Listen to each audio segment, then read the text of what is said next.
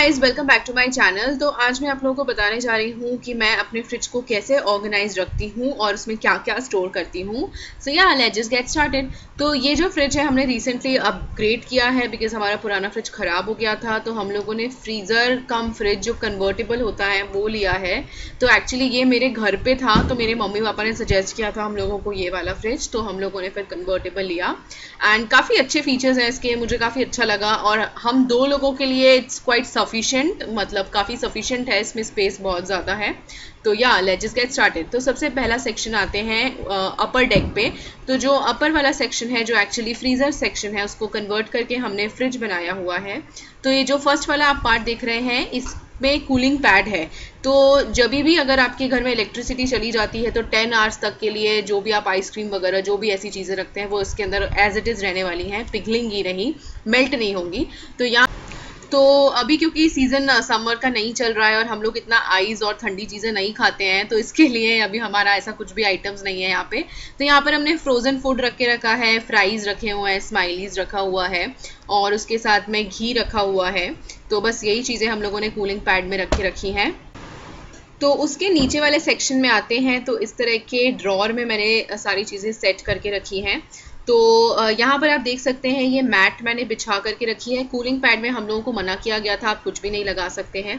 तो सबसे पहले आप देखेंगे वॉलनट है, उसके बाद डेट्स का बॉक्स है, फिर ये फिग है मतलब अंजीर है। देन उसके बाद ये अलसी समझते हैं आप लोग फ्लेक्सीड है ये, अलसी के बीज जो होते हैं वो है। एंड देन उसके बाद ये राइजन्स है मतलब किशमिश है। तो ये सारे ड्राई फ्रूट्स हम लोगों ने रख के रखे हैं इस वाले सेक्शन में, जो हम लोग डेली थोड़ा बहुत लेते हैं। एंड यहाँ पर आइस ट्रे है तो ये भी अभी खाली है, क्योंकि हम लोग यूज़ नहीं करते हैं इसको इतना। देन उसके डोर सेक्शन में आएँगे। तो यहाँ पर ऐसे ग्लूकोज रख के रखा है, जलजीरा है then custard powder custard powder है देन अगेन जलजीरा पाउडर है। तो इस तरह की यू नो रैंडम चीज़ें हैं। मोस्टली यहाँ पर ऐसी सब चीज़ें रखी हुई हैं रैंडम सी स्टफ़ है। देन उसके बाद ये सोया सॉस रखा है और उसके यहाँ पर मंचूरियन सूप है। देन उसके बाद बादाम ड्रिंक मिक्स है। ऐसे मतलब बहुत ही नॉर्मल सी चीज़ें हैं। फिर यहाँ पर अमूल का बटर रखा हुआ है और उसके नीचे वाले सेक्शन में आएँगे तो यहाँ पर ग्रीन चिली है देन अगेन सोया सॉस है देन रेड चिली सॉस है। तो ये सारी चीज़ें जो पिज़्ज़ा बनाने में और ये सारे चाइनीज़ फ़ूड बनाने में यूज़ होती हैं, वो सब रखा हुआ है। देन उसके बाद चिली फ्लेक्स है ऑर्गेनो है और again soya sauce soya sauce बहुत सारा है क्योंकि हम लोग बहुत यूज़ करते हैं. जनरली मैगी में भी हम लोग सोया सॉस यूज़ करते हैं. और ये इमली की चटनियाँ हैं. तो ये सब मैंने फ़र्स्ट वाले कंपार्टमेंट में रखा हुआ है. अभी आते हैं हम लोग सेकेंड वाले कंपार्टमेंट में. तो जो सेकेंड वाला एक्चुअल फ्रिज है, उसमें मैं क्या क्या रखती हूँ? मैं थोड़ा सा फ्रिज को एम्प्टी रखना पसंद करती हूँ ताकि कुछ एक्स्ट्रा स्टफ़ हो तो वो हम रख सकें। गिच पिच गिच पिच भरा भरा मुझे पसंद नहीं है। तो फ़र्स्ट जो फ्रेश रूम है या फ्रेश वाला कंपार्टमेंट है, जिसको बोलते हैं, उसमें हम लोगों ने एग्स रखा हुआ है। एग्स की ट्रे है। Please avoid this dirty one वो पता नहीं ऐसे ही आया था। देन उसके बाद चॉकलेट का बॉक्स है। As I am a chocolate lover मुझे बहुत पसंद है चॉकलेट्स और ये चीज़ का पैकेट रखा हुआ है तो ये सारी चीज़ें हम लोग इस वाले सेक्शन में रखते हैं फ्रेश रूम में।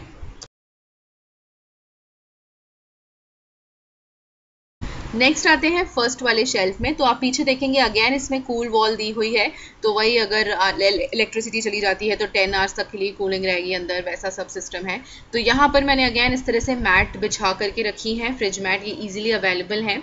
तो फ़र्स्ट वाले सेक्शन में यहाँ पर केक की सारी चीज़ें रखी हुई हैं, जैसे ये कोको पाउडर है कैडबरी का कोको पाउडर है, मैं केक काफ़ी बनाती हूँ फ्रीक्वेंटली बनाती हूँ तो इसके लिए कोको पाउडर और चॉकलेट से रिलेटेड बहुत सारी चीज़ें आपको मेरे फ्रिज में मिलेंगी। देन ये हर्शीज़ का चॉकलेट सिरप है, जो हम लोग केक बनाते हैं, तब यूज़ करते हैं। देन वो जो पीछे तीन है, वो अलग अलग केक मिक्स हैं, और मैं सब अलग अलग ब्रांड्स के ट्राई करती हूँ कि किसका ज़्यादा सॉफ्ट बना, किसका ज़्यादा यमी बना, ऐसे। और यहाँ पर ये लेफ़्ट ओवर्स हैं, एक में दाल रखी हुई है और एक में सब्ज़ी है तो मैं ग्लास कंटेनर यूज़ करना पसंद करती हूँ ताकि इसमें से निकाल के डायरेक्टली माइक्रोवेव में गर्म हो जाए।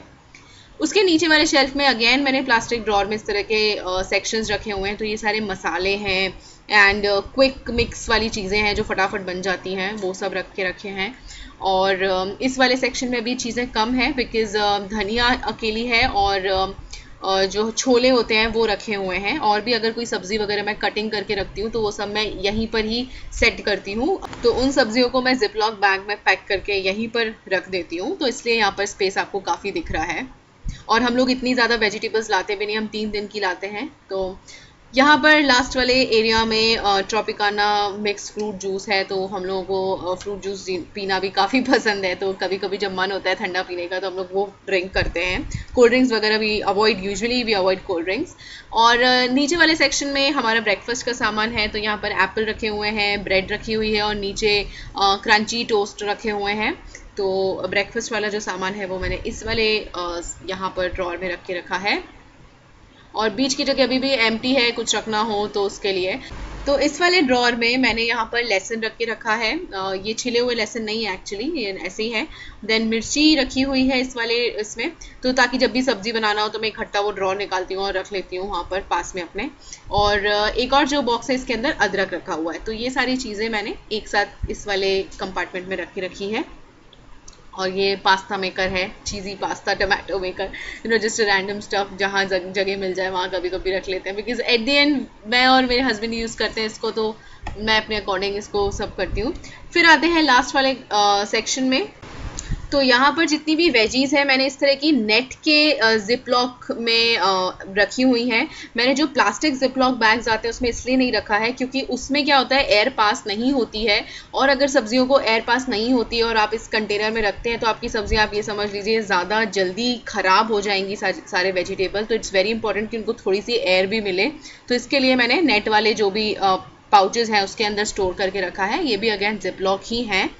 और ये बिग बॉक्स में मैंने थोड़ी सी सब्ज़ियाँ रखी हैं। एज आई सेट कि हम लोग तीन दिन से ज़्यादा की नहीं लेकर के आते हैं, ख़राब होती हैं वो। हम लोग फ्रेश वेजिटेबल्स लेके आते हैं। तो अभी आप देख सकते हैं काफ़ी सारा स्पेस है मेरे फ्रिज में।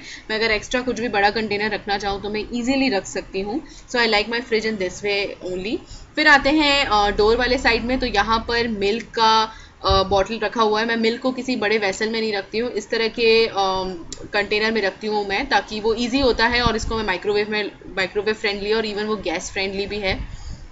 फिर उसके बाद एज आई सेड मेरे पास चॉकलेट सिरप बहुत सारे हैं तो ये हर्शीज़ का चॉकलेट सिरप है।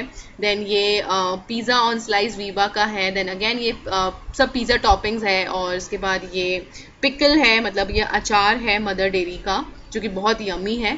उसके बाद ये हर्शीज़ का अगेन मिल्क बूस्टर है बहुत यमी बहुत ज़्यादा यमी अगर आपने ट्राई नहीं किया है तो just give a try once बहुत टेस्टी लगता है मिल्क इससे। उसके बाद यहाँ पर लेमन्स रखे हुए हैं और इसमें लेमन एंड एग्स दोनों मिक्स करके रखे हुए हैं। नीचे वाले सेक्शन में अगेन केक मिक्स है कुकर केक मिक्स है, उसके बाद ये रू अफ़ज़ा है हम लोगों की, और यहाँ पर हनी रखा हुआ है दैन ये केचप है, और उसके बाद म्योनीज़ है। जस्ट रैंडम स्टफ़ बहुत ज़्यादा फ्रिज भरा नहीं है बट जितना भी है वो हमारे सब यूज़ का है और हम लोग उसको ख़त्म भी करते हैं इवन यूज़ भी करते हैं। So yeah that's it for my video I hope आप सबको पसंद आया होगा। अगर पसंद आया है then do not forget to hit the like button subscribe to my channel and comment down below I'll meet you in my next video till then bye